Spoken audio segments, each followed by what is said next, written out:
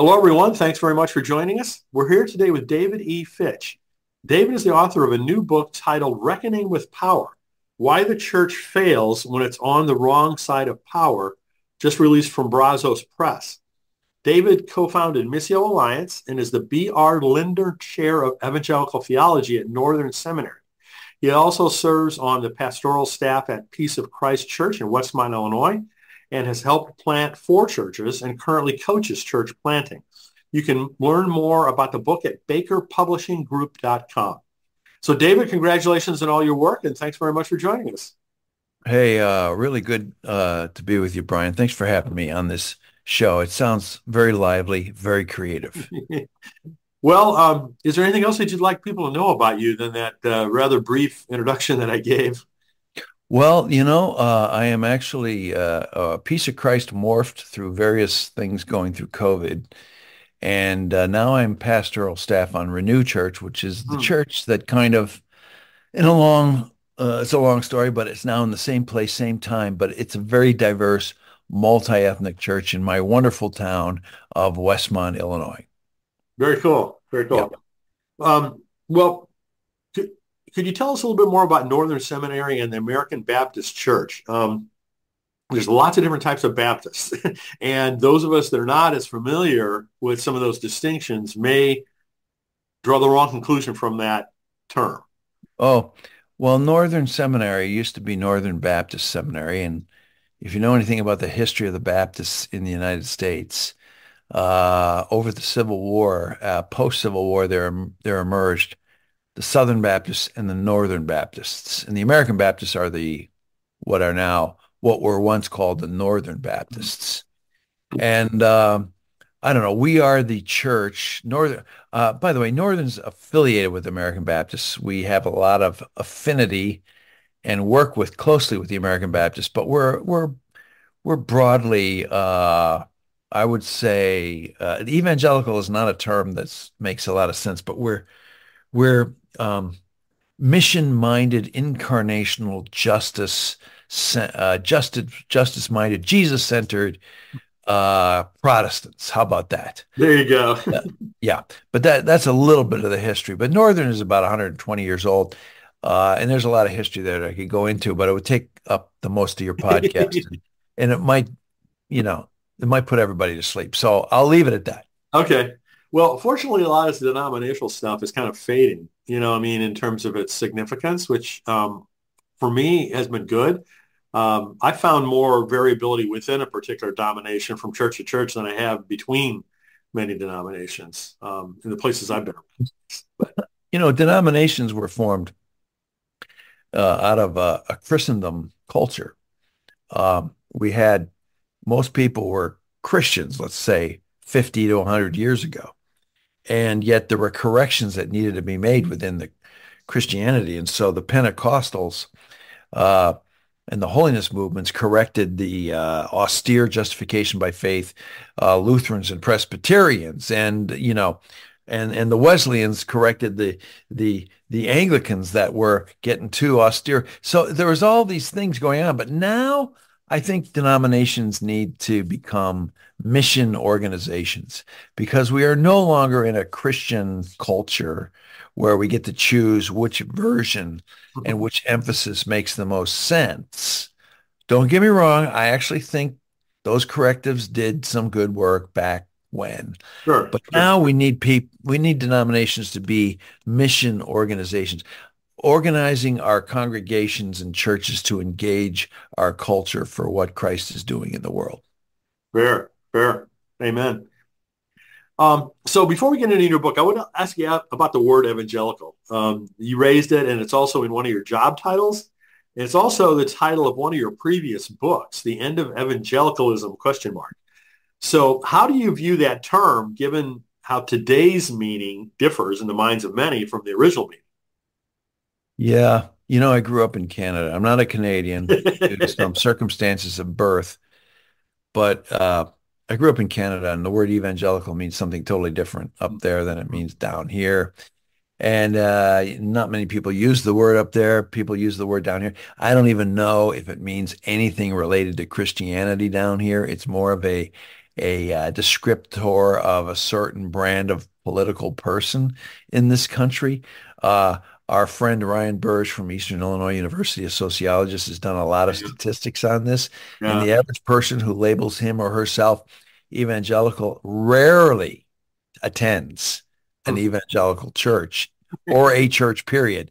And so I think the term has become extremely problematic. If I use it, uh, I use it uh, to describe a history of a group of people who uh, not, they emerged out of the modernist controversies of the last century, and and they are devoted to uh, Jesus, His work on the cross and the resurrection, and they are devoted to understanding Scripture as Holy Spirit inspired. I know there's a lot of other weird things around Scripture that they sometimes adhere to, but it's authority of Scripture and and engaging the world for Christ. That's kind of how evangelicalism used to be. And granted, it's had a lot of weird, uh, unfortunate caricatures and political manifestations, which for a neo Anabaptist like me is a disaster. You exchange the church for the state to do the work of God, and it's never going to work out well.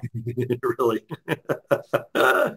so let's talk about your new book. As I mentioned, the, I love the title, Reckoning with Power why the church fails when it's on the wrong side of power.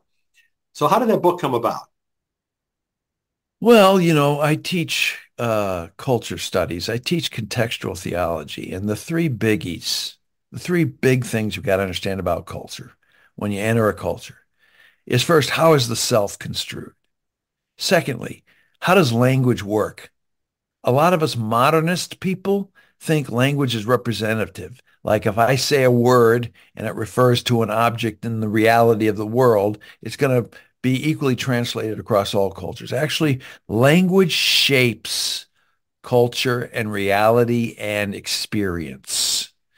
And you got to understand that. So you need to learn the language and what's going on in the language before you can even try to figure out how to talk about the gospel, talk about Jesus. And then the other thing is power.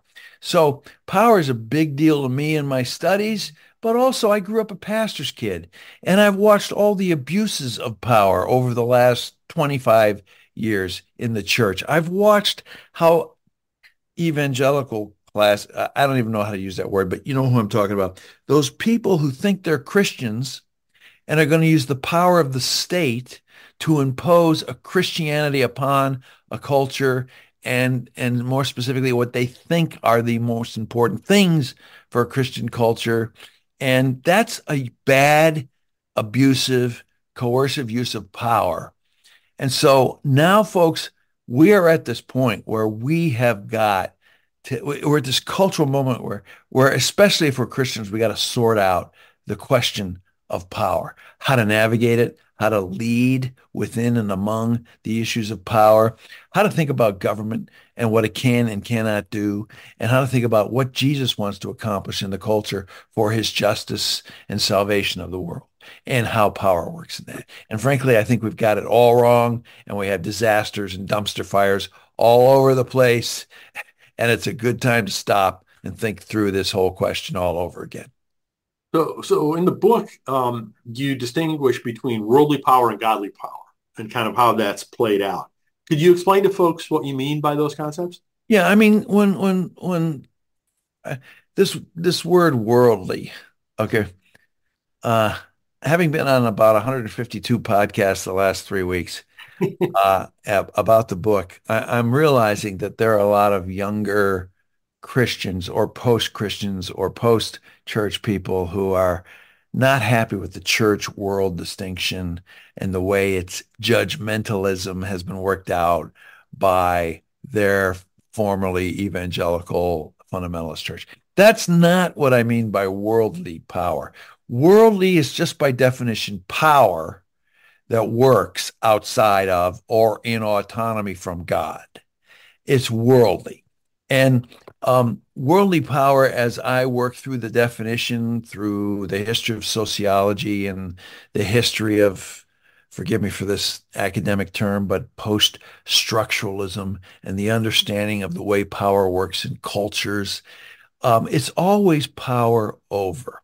And Max Weber, the famous sociologist from the previous uh, couple of centuries ago, uh, uh, he said power is when person A gets to tell person B what to do.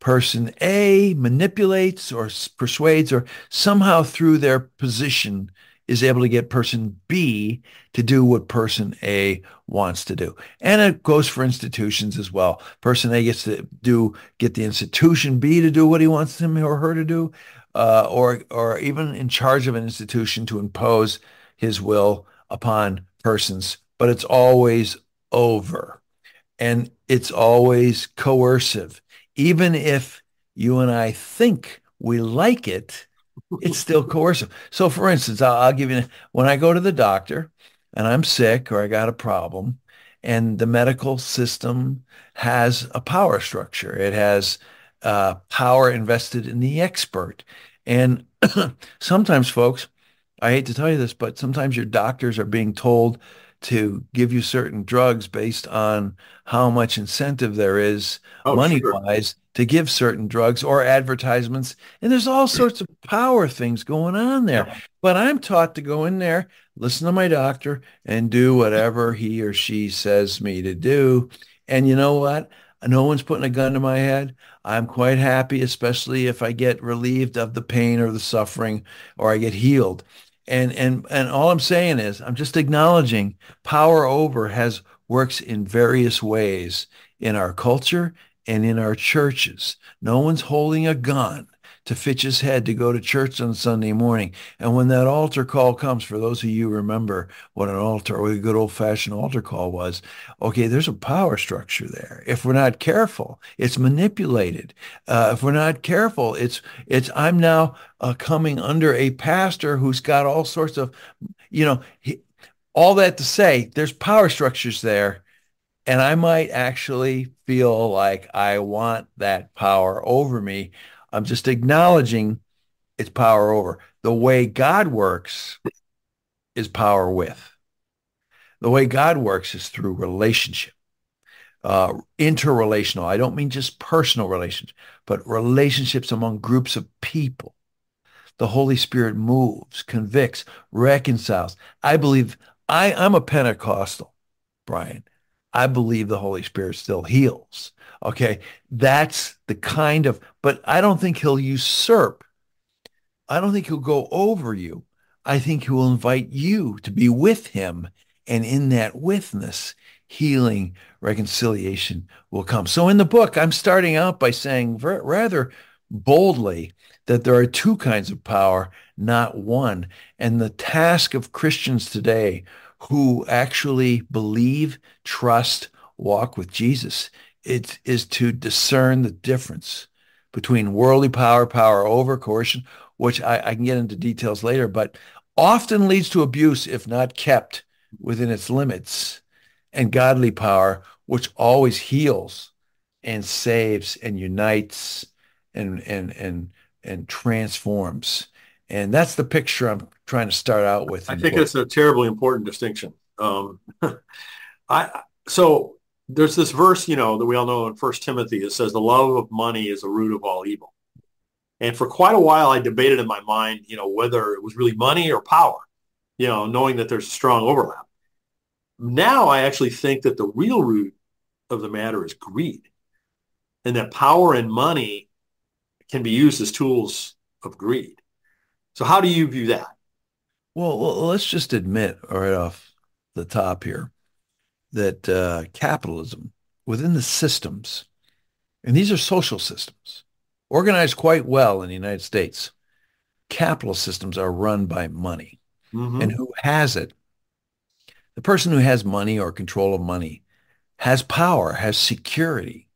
The person who doesn't have money is struggling, is is subservient to the immediate needs of getting enough money to pay the bills, to feed a family, to to uh, have a roof over their head. So, um, you know, money is the root of all evil. Uh, I don't think there's any clearer equivalence in our culture than that between money and power. It couldn't be any clearer. If anybody thinks, I mean, let me let me be clear. I think democracy is a much better system than an authoritarian fascist government. Okay. But if anybody thinks we have a pure democracy here in the United States, I got news for you. You wish. it runs on money. And for some reason, we can't seem to keep the limits on that money. And so we do wonder why we have two people running for president, Donald Trump and Joe Biden. And it's, it, I got to tell you, it is the reason why we have these two people is, I think, probably money, the control of and the ability to spend money. My my one of my favorite theologians and friends, Stanley Hauerwas, says we don't we don't vote for candidates. We we vote for commercials. And and you know, commercials are all about money. And so yeah, there's nothing more sinister. Does any pastor who's listening right now, if there are any, I don't know if there are any, but if there are, if there's two or three of you out there, if you're pastors, you know that when you get up to preach on Sunday morning, and lead the church through scripture sometimes you're worried about getting that person who who uh, gives uh, 20% of the of the total giving of the church on any given month. You're worried about getting that person upset and leaving because the budget's going to tank. That's conflict of interest. Money. Money is the root uh, power I, I, still don't know that it's the root. To me it, it, it's a really important and it's really powerful but it's a tool of greed isn't it and i think greed is actually the fundamental issue. Because what yeah, you're doing well, with the money, what you're doing with the power is driven by greed. Yeah. Uh, okay. I, I, uh, I think I know what you're saying, and I think I agree with it. Uh, I'm having a little more difficult time uh, breaking uh, the, the the distinguishing between the money and the greed. I know, man, money Money. Uh, okay, so I agree. There is kind of a holy a way to approach money. I I, I got to admit I haven't been very good at it. I mean, there's a well, lot I mean, of times. You know, money is a transactional thing, right? I mean, it's it's it's, it's a currency. Right? It's it's how we trade goods and services. So at that level, it's neutral, right? It's how you use it, what you do with the money. I mean, you could use money to give to the poor, support homelessness, or you know whatever yeah. good uses of money out there. Yeah. I think I agree with you. You I know, mean, maybe we should talk about avarice or greed. Or, yeah, I mean, I, it's I don't know, but I just struggle uh, with the perversion you know, of money. Yeah, okay. I'm not I'm not arguing at all about your premise of the importance of power and the misuse of it. Totally agree. Yes. It's just more, I guess, more intellectual exercise. But well, no, no, it, it, but but it is very, very helpful to realize how much power is wound up with money and the possession. Yeah. Of money. I have a section in the book where I talk about uh, what, are you on the right side of power, the right side of history? And I talk about the way the church, the evangelical church, which is so criticized today, rightfully so, for being on the wrong side of history. But if you look back 100 years, 150 years ago, when it was with the poor, when it was with the hurting, those who did not have worldly power, in other words, those who did not have money, it was not on the side of slavery. It was uh, on the side of abolitionists. It wasn't perfect. There were there were racist abolitionists, but at least it was on the side of breaking the power and hold of slavery, which was a greed exploitation of race for money. Uh, likewise, with women in ministry and women's suffrage movements, the, the, the, the people without the money, the people of the with, with, the poor were at the forefront of women's suffrage movements. The ones with the money at Princeton Seminary were the patriarchalists. Uh, and so we just got to understand the two are closely intertwined in terms. And then, and then, by the way, Don Dayton, my uh, teacher in historiography in my early years, what happened in the holiness movements? They were among the poor, and they were the they were the people who were um, initiating these abolitionist movements and women's suffrage movements and prohibition movements. By the way, which when alcoholism was destroying people's lives, and and, and yet when they got their lives together, when they got saved, when they became Jesus followers, their lives got put together and they got money. and and Don Dayton kind of charts this. He calls it the embourgeoisement of the holiness movement. and by the time post World War II, they were some of the richest groups of people, and they were on the wrong side of the story.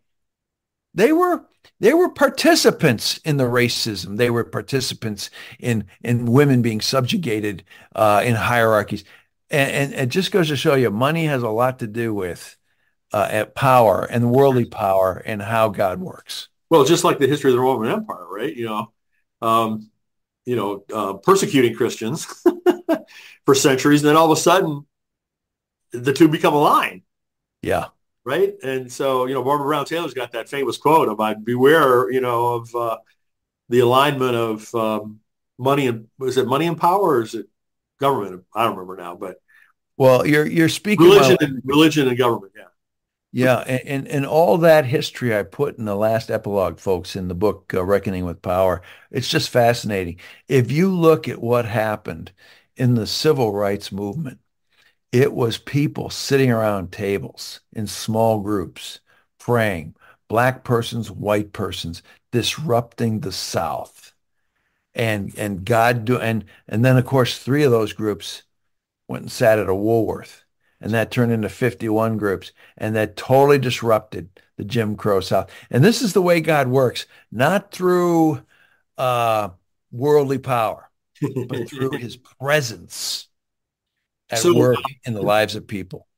So uh, one of my frustrations with a lot of very good books on justice issues is that they tend to focus on analysis and don't say much at all along the lines of what do we do about it. And I realize that the analysis is very important and particularly in complex areas. Um, and I also realize there's no easy answers to what do we do about it, um, which is all the more reason for addressing it, quite frankly. But in your book, um, you do both, which I, really like. Um, your final chapter talks about several ways that churches can do something about it. So um, can you describe a couple of those for folks?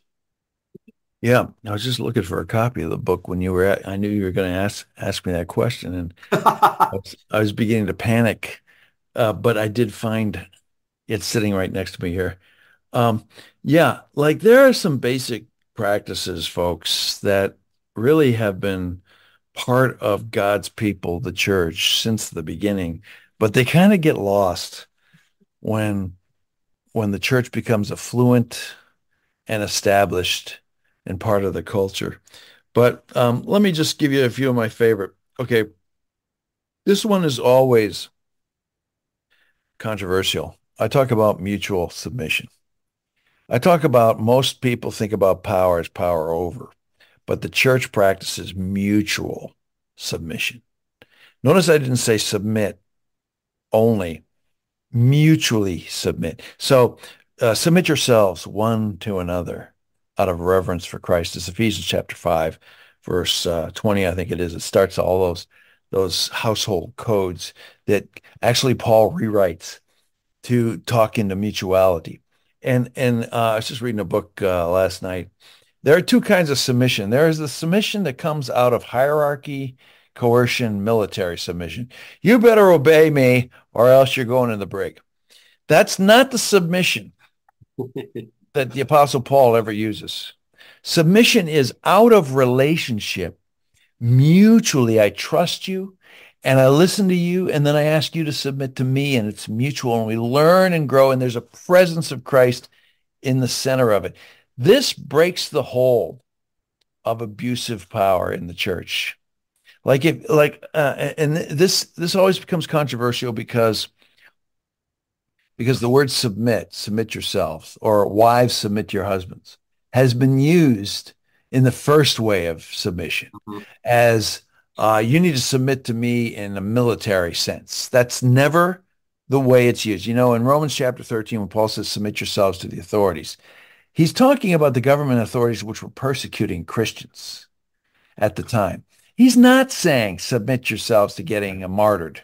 He's not doing that. What he is saying is speak truth in love and stand in its truth before your magistrate and submit it to him for his examination. And if he refuses, well, you know what's been revealed? The horrors of worldly power and the ungodliness of that government. And that's the way God works. And so all this to say, it's a very extensive conversation in the book and also outside the book, much deeper. Mm-hmm. Mutual submission really does uh, transformed the way we have relationships and undercuts worldly power. I always say, by the way, the person in perceived power, the person who is looked upon in worldly terms as the one in power, must go first. You put your uh, proposal out, and then you say, I submit to you. What do you think? What would you do if you were me? How would you improve this proposal? It changes the whole social dynamics. Like, let's say I'm in a town hall ordinance committee and some racist is getting up there and saying, we got to make it more difficult for the wrong kind of people to be in our neighborhood.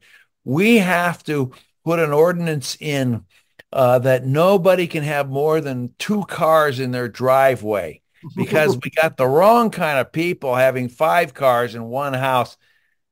I would like to have a meeting with you, sir.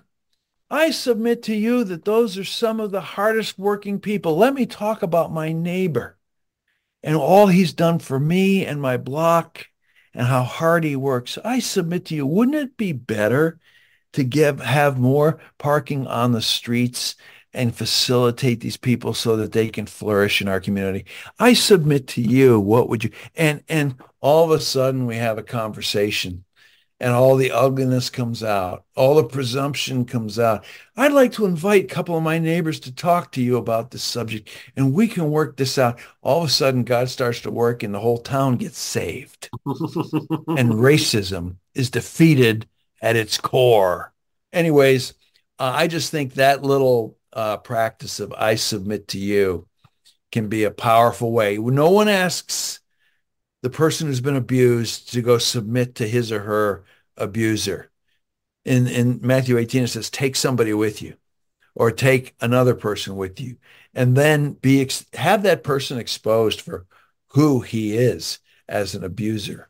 So that's a, that's a key uh, practice. Yeah. By the way, I think like women in ministry, I think multi-ethnic church, I think the way we go and do demonstrations in town and be present, not just go make a, a, a, statement, which is important in itself, but go be present. Like when we had a uh, a march here after the George Floyd murder, and we had about 300 people on the main drag of our town, and we prayed that God might use this to bring us people together and and unwind the racism in our town.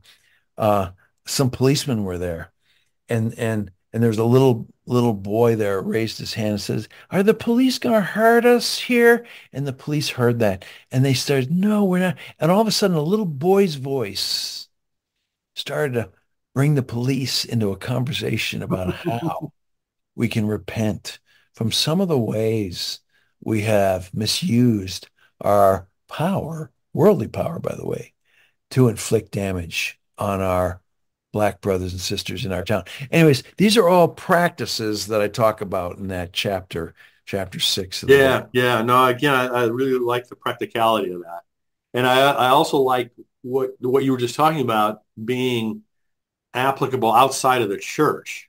Um, a lot of the things that you wrote in the chapter are more specific within a church context, but what you were just describing is applicable to anyone. Right. Well, you know, mutual submission in the church's leadership. You have to practice it among us before you can practice it in the town hall ordinance committee, or else we won't know what we're doing. Well, uh, a lot of people are stuck. Stuck. I mean, I don't know if that's the right word, but a lot of people find themselves embedded in churches that don't necessarily um, implement the different things that you're recommending. Yes, yes, I know, I know, I, I know it well. Uh, and by the way, for all those churches, I wrote this book like 10 years ago, Faithful Presence, mm-hmm. where I talk about the three church, the three circles of the church's life. And if you're not living in all three circles, church is a way of life. You're turning into a maintenance organization for already existing Christians, which always goes weird or bad. uh, but that's a topic of another book. So um, I have to ask you, I know you're in the middle of a book launch for a new book, which, you know, is keeping you very busy, but anything on the horizon um, that you're working on next, whether it's a, a new book or, uh, you know, other types of new projects? Well, yes, although, you know, I'm really getting, I'm really slow on the trigger here to get things moving. But uh, I have this book I'm working on. I should say I'm supposed to be working on. uh, it's called The Many Gospels How the Gospel Shapes the Church for Mission.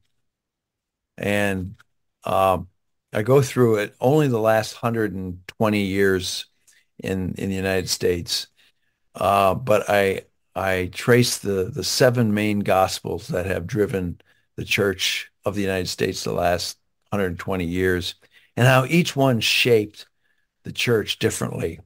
And my argument is that they all got a lead. They all start in different places, all legitimate different places.